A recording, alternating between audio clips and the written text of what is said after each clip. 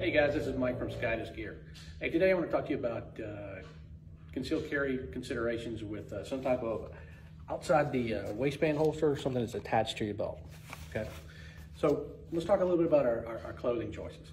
Um, some days you're going to want to wear something that's buttoned up, uh, tucked, untucked, whatever. Um, but most of the time, this is kind of with warm weather coming up. You know, this is a, a very common attire that people are going to have. So what I want you to start thinking about is how do I get to my firearm? So let's talk about clearing the garment out of the way.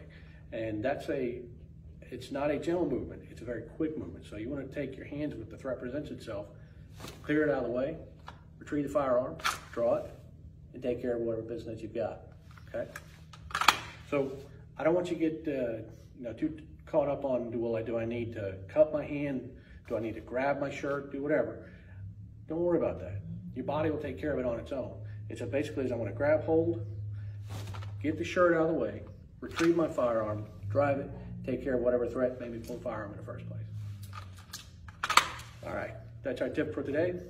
Uh, as always, go to skydasgear.com, pick up some of the best holsters made in the business, and uh, if you got any questions or comments, put them down below. Hope to talk to you soon.